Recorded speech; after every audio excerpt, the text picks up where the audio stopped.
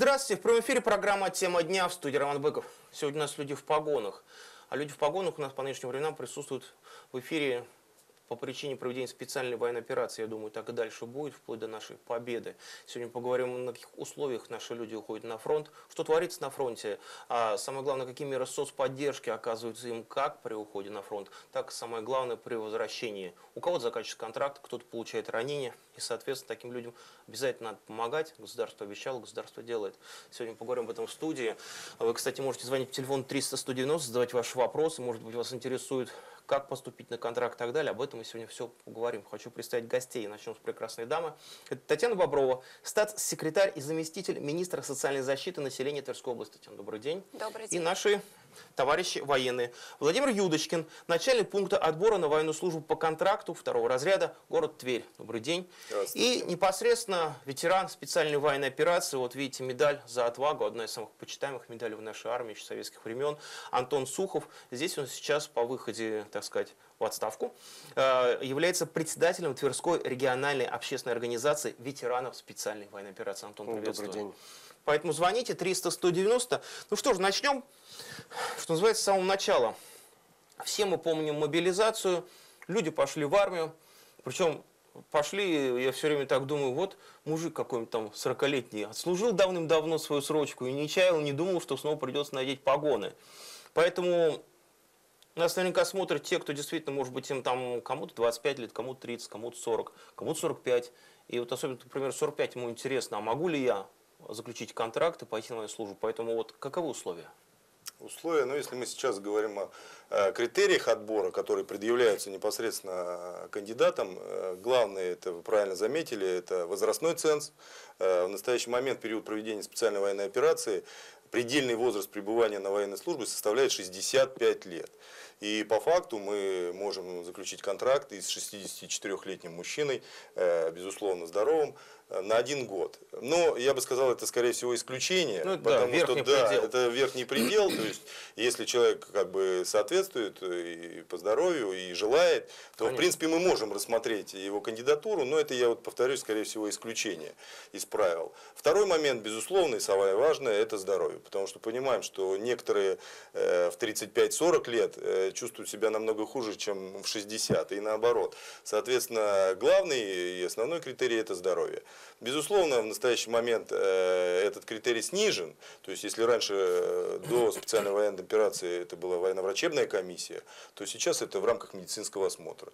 В военкомате? Ну, Безусловно, да, угу. в Тверском областном. То есть не нужно человеку бегать самому по больницам? Нет, нет, нет, нет. Э, более того, э, проверка на социально опасные заболевания, такие как ВИЧ, гепатиты, э, забор крови осуществляется непосредственно в военном комиссариате, и результаты мы уже имеем в течение одного дня. То есть с момента, как человек прибудет на пункт отбора, а пункт отбора у нас базируется совместно с военным комиссариатом и сборным пунктом. Э, Все происходит. Давайте озвучим, где. Да, на Игоря Баталова, дом 2. Это как, э, дорогие телезрители, кто не знает, может быть, все-таки улица не так давно получила название. Это, попросту говоря, почти Мигалова. Слева наше знаменитое Суворовское училище новое, а справа как раз наш новый военкомат. Ну, не все просто знают на самом да, деле. Ну, я думаю, теперь это знаковое место, и все уже должны будут знать. Вот, э, соответственно, прибывая туда, и в течение одного дня мы получаем результат. Если э, никаких противопоказаний нет, то и человек готов убывать, вплоть до того, что убытие в этот или на следующий день у нас происходит. То есть самое главное, действительно удобно, что человеку не нужно бегать, собирать миллион справок, там э, тратить неделю, две, потому что очередь к врачам, как люди пугаются, это сколько, это же сколько времени потрачу и так далее. Все, как говорится, принцип одного окна. Безусловно. Нужно только желание и, соответственно, прибыть на пункт отбора. Это если мы говорим о критериях отбора. А если мы говорим про условия поступления на военную службу по контракту, э, так скажем, о различных преференциях, ну, я думаю, Несколько позже мы на Несколько это позже, да. да. Но тоже вопрос, это вот э, мы озвучили, ну, теоретически предельный возраст, 65 лет. Это вне зависимости от того, человек на срочке был и ушел на дебель рядовым, или это полковник, который уже, казалось бы, на пенсии и так далее, не имеет значения? Не, мы сейчас говорим говорим о категории солдаты, сержанты, прапорщики. Вот, да. Вот, потому что для офицеров критерий, критерий э, ну, более завышен. Э, Мы рассматриваем э, в основном, если говорим о младшем офицерском составе, то это до 40 лет, это до капитана включительно, майоры, подполковники, полковники, соответственно, там, ну, до 45, до 50 э, рассматриваются. Но все индивидуально. А еще раз повторюсь, безусловно, это индивидуально, рассматривается каждая кандидатура, тем более, если мы говорим о офицере. Ну, тем более, если это ценный специалист, что да, называется. безусловно. Те, кто нужны на фронте, артиллеристы, так далее, Танкисты, танкисты, да. да, да, безусловно. 40 лет, 42, да, если мужчине, ну, он там, может быть, да, ушел, там, условно говоря, старшим лейтенантом когда-то на пенсию, но если он ценный специалист, правильно вы сказали, то есть нет какой-то вот этой официоза, когда строго все по бумаге. Нет, нет. То есть индивидуальный подход. Индивидуальный, безусловно, индивидуальный подход. Антон, скажи, вот, а касаемо, вот мы говорили, здоровье соответствует. Я много раз смотрю интервью, когда говорят твои, что называется, товарищи по оружию там на фронте, они и говорят тем, кто думает, может, на контракт и так далее, что вы не беспокойтесь, это все-таки не служба в армии, никто у вас там не будет гонять кроссами по 5-10 километров в полный выгул, как это было по молодости на срочке. То есть там несколько другое нужно. Вот ты согласен с этим, что нет вот этих, не гоняют этих, которые, как мы говорим, новобранцы, нынешние, новые, там 40-летние мужчины, никто их во время подготовки не будет вот заставлять, как в срочной службе, там по, полной, по утрам каждый день по 5 км бегать. Нет, ну этого, конечно, не будет там, потому что там маленько другие задачи совсем. Да, то есть, ну, вот эти все кроссы и То, физподготовка, она, срочной службе было. она нужна на момент подготовки, чтобы хоть набрать хоть какую-то физическую форму, потому что все-таки не стоит забывать, там летают и коптера, летает артиллерия, потому что бегать там все равно надо. И ребята, которые идут в разведку, и они тоже марш-броски делают не маленькие во всем обмундировании. То есть э, форму надо все равно набирать во Ну, время понятно, подготовки. с таким животом никто Да. тебя в армию что не возьмет. Конечно, конечно. То есть здесь вот, ну, э, там непосредственно, да, вот э, за два контракта я не скажу, что мы где-то много бегали. На втором контракте в разведку мы много ходили, ну, никак не бегали. То есть, да, бегать там надо недалеко и быстро. То есть, Вот. да, это вот это самое основное. А это, я думаю, что это, в принципе, каждый справится. Ну, в- война совсем изменилась, и изменилось и то, что вот мы сейчас знаем, то, что вот именно сейчас самый, самая проблема, это все-таки это воздух. Воздух – это коптера, дроны, FPV, да, вот, то есть их там очень много сейчас, в больших объемах. То есть это надо успеть спрятаться. Но опять же, далеко бежать не надо. Спрятался в зеленку, в принципе, в блиндаж, еще куда-то.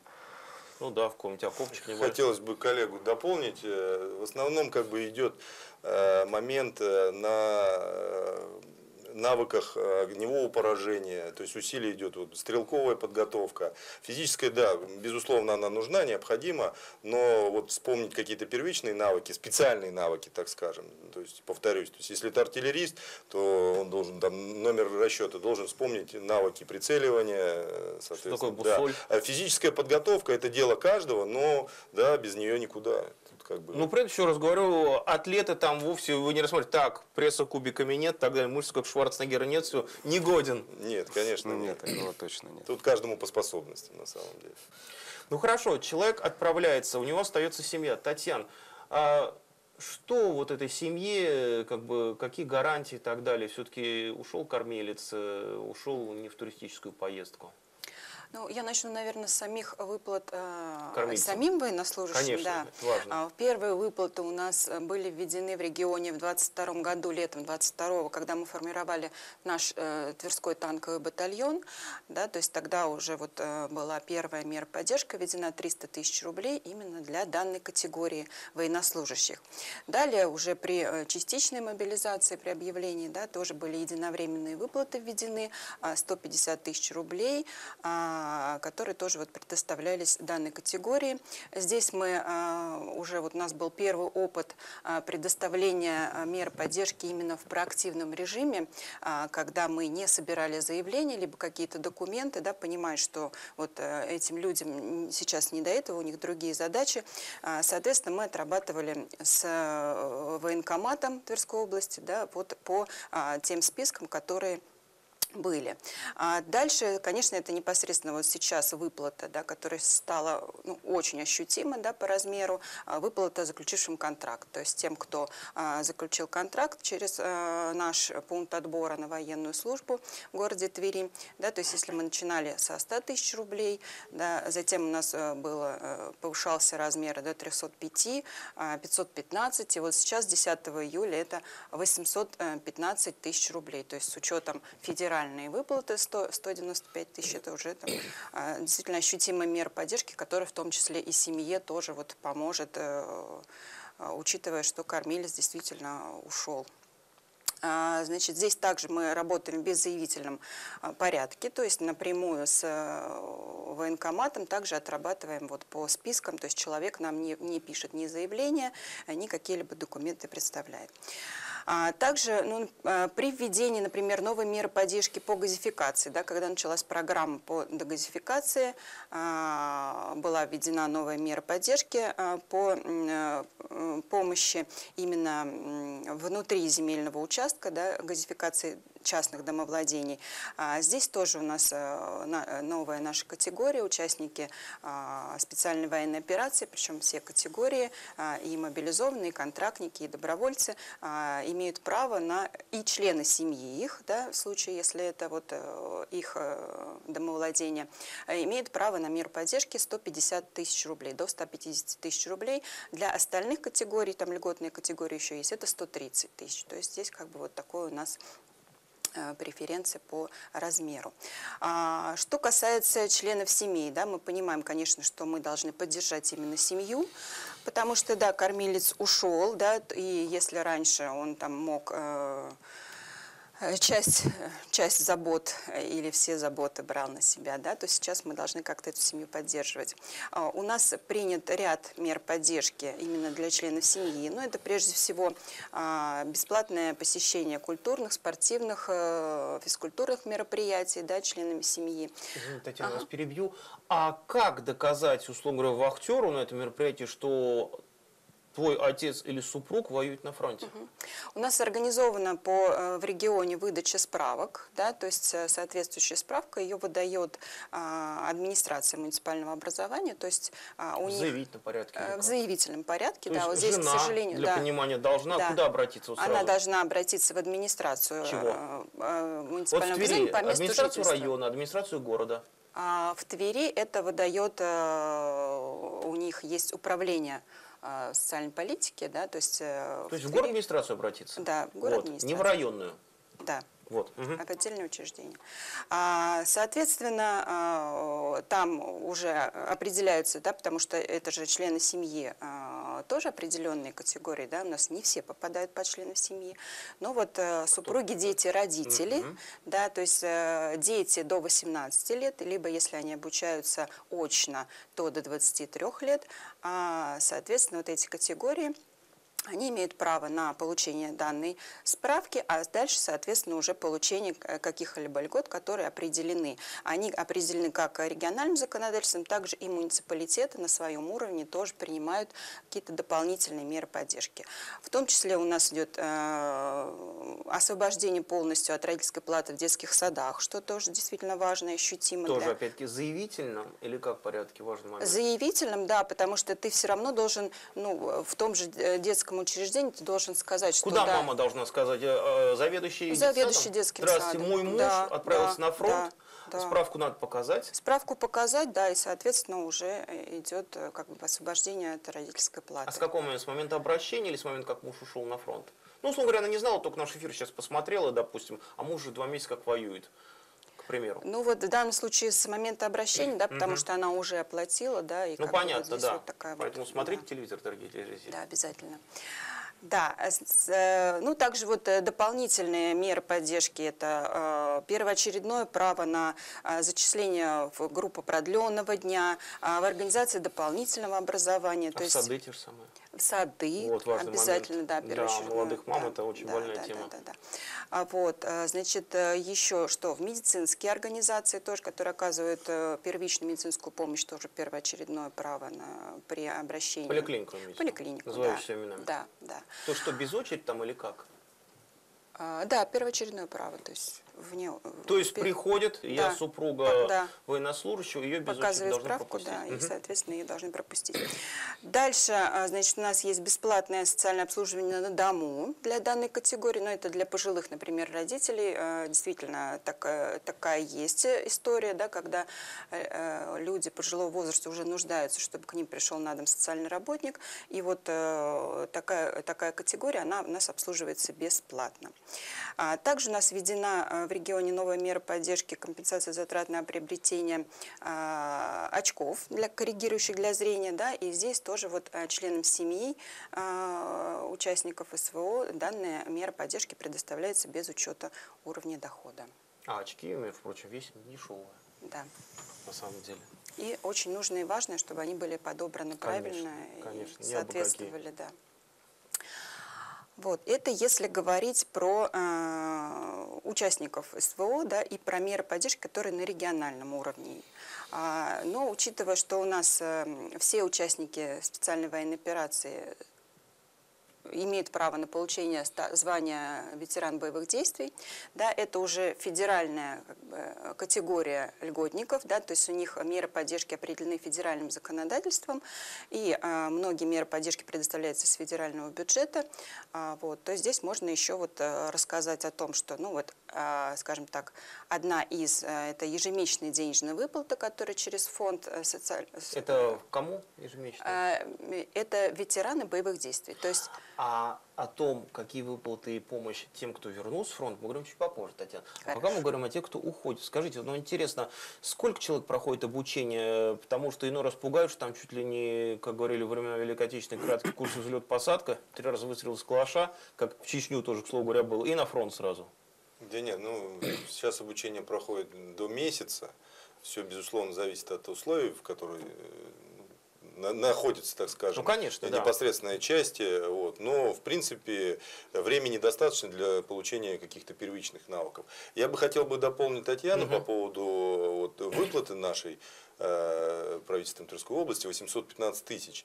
Недавно Она- принятая. Да, недавно принята. Она полагается не только гражданам, которые поступают на военную службу по контракту через пункт отбора на военную службу по контракту, то есть через э, организацию, которую я возглавляю, она полагается и нашим призывникам, которые призваны через военный комиссариат Тверской области и заключают контракты вне зависимости, где они проходят э, службу. То, есть, для наш- понимания, человек э, призван, служит где-нибудь, условно говоря, в Ставрополе, условно говоря. Да. условно говоря. Потом на войну, допустим. И ему наш... Нет. А как? Нет, Расскажите нет, для нет, понимания нет. Контракт. э, наш, э, наш призывник, Да. который призван э, Служит себе, служит, служит где-нибудь на Камчатке в Да, любой да, да. воинской части. И вот здесь командиры или он сам принимает решение, ну я имею в виду командиры, рассказали ему про военную службу, он сам видит, что ну, достойно, ему нравится там служить по контракту, он принимает решение. Он заключает контракт, и спустя некоторое время, мы это все дело видим, э, ему назначается эта выплата, тоже 815 тысяч. И здесь э, вот этот призывник, который заключил контракт, э, здесь нету никаких критериев, чтобы он участвовал в специальной войне. То есть он может на Камчатке остаться. И, безусловно. К примеру. Да, и он эти выплаты получит. Вот, важный момент. Это же касается и мобилизованных граждан. да. Это и касается наших мобилизованных. которые два года назад. Да, которые были мобилизованы. Они могут поменять свой статус э, мобилизованного гражданина, то есть гражданина по призыву, по сути, э, на военнослужащего по контракту. С подписанием контракта они также получат эту выплату. Ну хорошо. Антон, скажи, ну вот мы говорили то, что вот Владимир рассказал, что человека учат всему, чему необходимо в этом резервном полку. Тоже все зависит от подготовки человека. Действительно, если он не так давно и служил, ничего не забыл, наверное, его меньше срок подготовки. Если человек давно подзабыл или с нуля, то больше. А, тоже, что называется, важный момент, патронов не жалеют? Ну, патронов хватало. Патронов То хватало. есть нет такого, эти магазин, до свидания. Нет, нет, патронов хватало, не хватало, наверное, порой самих магазинов. То есть, да, ну, мы доставали магазины, поэтому, в принципе, мы были обеспечены всем. То есть мы не видели, скажем, какого-то там голода, да, по боеприпасам. То есть у нас хватало, по крайней мере. Гранат то же самое, то есть Да. нет такого, что вот тебе учебный гранат кинул три раза. Да, вот мы работали на минометах, то есть у нас машина практически через день за минами ездила, то есть постоянно довозила. Поэтому ну, у нас точно не наблюдалось, у нас, наверное, проблема была, и как в принципе и сейчас, это только с дронами. То есть дронов катастрофически не хватает. Ну, это такая проблема, и противник жаловался на то же самое. Скажи, ну а какие навыки приобретаешь там? Понятно, здесь отцы-командиры стараются научить э, всему, чему положено, а что там вот такого ты приобретаешь, чего, я думаю, в принципе, в тылу при всем желании, ну, нельзя научить, потому что одно дело теория, другое практика. Это в любой жизни нормально, неважно, кем ты водителем работаешь, токарем, инженером и так далее, всегда практика, она оказывается несколько другой, чем то, чему тебя учат. Да, само собой, конечно. То есть, ну, здесь, опять же, в зависимости того, э, скажем так, да, в- по какому направлению ты пошел, то есть, кто ты, штурмовик, либо ты либо на артиллерии работаешь, да? А человек, извиняюсь, сам э, говорит, а я хочу артиллеристом быть или нет? Куда родину что пошлет? Э, Здесь, наверное, я не знаю, как вот, ну, скажем так, в армию, да, когда уходит, как там, да, у нас у добровольцев было, в принципе, то, что мы умеем. То есть, да, и сначала меня поставили на миномет, э, после миномета А ты как бы срочно ведь служил службу. служил. ну, Минометчиком или нет? нет? Вот. кин- кинологом. Вот. Вот, но это было давно, это я в 2004 году Ну, уволился. понятно, да, То есть. Ага. вот, и вот меня на миномете уже непосредственно учили там, потому что на полигоне на минометах мы не стреляли. То есть, соответственно, там за лентой обучились мы очень быстро, у нас был он блуждающий. Вот. Это который на грузовике. Да, который на грузовике, мы скидывали, отстреливались, обратно грузили, опять уезжали. Потом ушел на связь, то же самое, я на связь пришел, меня начали обучать, А на начали связь это подсказывать. Связистом. То есть мы тянули там и, скажем, вот эти обычные стандартные этапики, и рации у нас были. Вот. То есть, ну, организовывали связь. Если нет даже компаса определять стороны света по часам и так далее, Антон, нужны такие навыки на фронте? Если в артиллерии, то не, да, они необходимы, потому что... А в разведке ты пошел, чтобы не заблудиться, не выйти на Ну, позиции? Сейчас карты есть. Карты есть в электронном виде. В электронном? Да, в электронном виде есть с отметками, где мы отметки ставим, по этим отметкам можем передвигаться, или мы знаем, что где стоит противник, куда заходить не стоит. То есть все это сейчас есть, скажем так, наверное, все. Офка- Оффлайн, оффлайн. да, То оффлайн есть, хотите сказать, обычных бумажных карт нет? Есть, почему? Обычные бумажные карты есть, да, допустим, если надо где-то привязаться. Но в основном это оффлайн карты. Ну просто, ну, вышел гаджет у тебя из строя, как-то все-таки война же. Ну, в магазине побежишь, об сторону не купишь. Я думаю, тут э, комплексно. э, То есть и так, и так. И так, и так, конечно. Одно другому не мешает. Да. Ну хорошо, Татьяна, человек вернулся с фронта. Э, Какие меры оказываются поддержки уже ветеранам СВО? Те, кто уже вернулись домой, опять-таки, особенно, конечно, важно, я думаю, интересно слышать тем, кто война все-таки лишился руки, ноги. Тут уж что уж скрывать, это правда. На войне, к сожалению, без потерь, без раненых никак. Ну, если вот про такую сложную да, жизненную ситуацию, у нас э, сейчас работает фонд защитника Отечества, да, то есть э, у них есть э, тоже определенные программы, да, они Адрес, помогают. пожалуйста, скажите телезрителям, кто не знает. Склесков 48, в городе Твери. Сколько помню, здание на перекрестке стоит. Да, а, там же у нас находится наше учреждение социальной защиты, то Да. есть, если кто знает, да, и там же находится э, филиал фонда. А, Плюс э, у нас э, социальные координаторы а, находятся в муниципальных образованиях тоже. Ну, чаще всего они в зданиях администрации Мгм. да, Ну, понятно, располагаются. Все Вот, компактно. да, соответственно, понятно, что если мы говорим про протезирование, да, то это есть через социальный фонд России, да, но как- какие-то там высокотехнологичные э, вещи да, а, помогают, в том числе вот э, фонд, у него такая есть возможность. Плюс они а, помогают адаптировать жилые помещения э, для вот, скажем так, когда уже э, коля- инвалид-колясочник, Ну да, да, да, то есть, соответственно, там э, какие-то вот такие новые технические возможности. А помогает с установкой пандусов? Зачастую, сами знаете, у нас в подъездах, ну, нет их. Да, вы знаете, это очень сложный вопрос, да, его э, решаем, мы тоже стараемся решить точечно, но с администрацией муниципальных образований, да, э, ча- часто бывает, что а, очень высоко находится, э, например, квартира, если это пятый этаж, да, без э, лифта, Да. да, то, конечно, э, пандус, он э, не поможет, даже если его установить. Но э, вот на сегодняшний день у нас ребята все а, протезированные, да, то есть они э, как бы не пользуются колясками, то есть ведут достаточно активный образ жизни. А, вот, поэтому вот такая, а, скажем так, проблема а, на сегодняшний день не стоит. А так, конечно, а, вопрос такой, а, скажем так, требует всесторонней да, э, проработки, потому что, да, действительно, э, если не адаптировать это жилое помещение, да, если действительно уже на коляске человек, то нужно там решать вопрос, наверное, с обменом этого жилого помещения и так далее. То есть здесь, конечно, всесторонне, со всеми службами нужно этот вариант рассматривать. То есть реален такой вариант?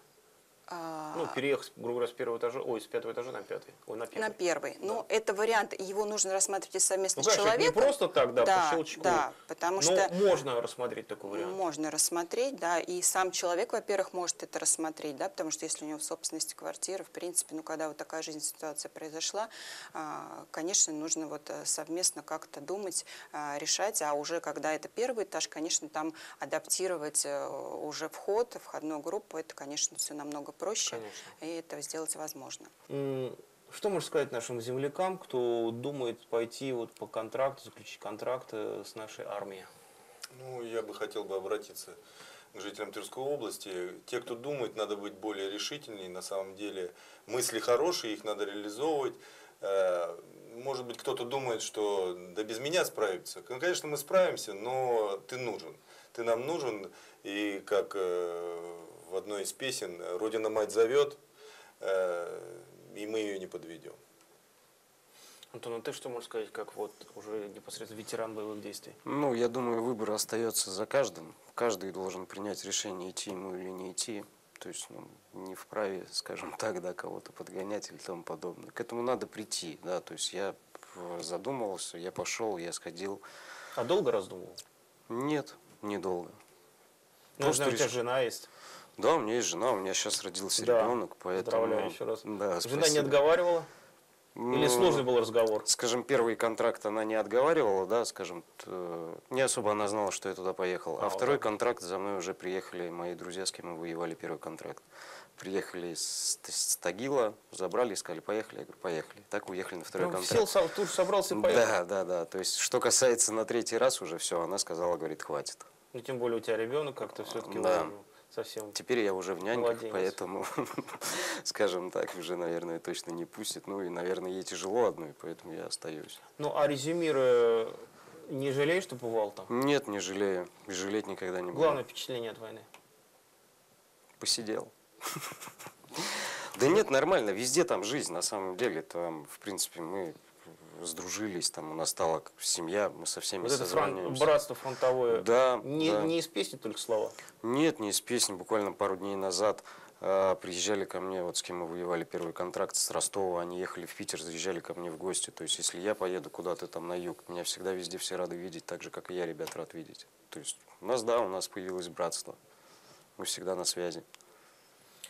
Ну что ж, наш эфир подошел к концу. Мы сегодня говорили о том, что Родина по-прежнему ждет своих защитников, кто готов вступить в ряды вооруженных сил, как вы слышали, от Владимира Юдочкина. Это возраст может быть ну, практически любой. Главное здоровье и, конечно, желание.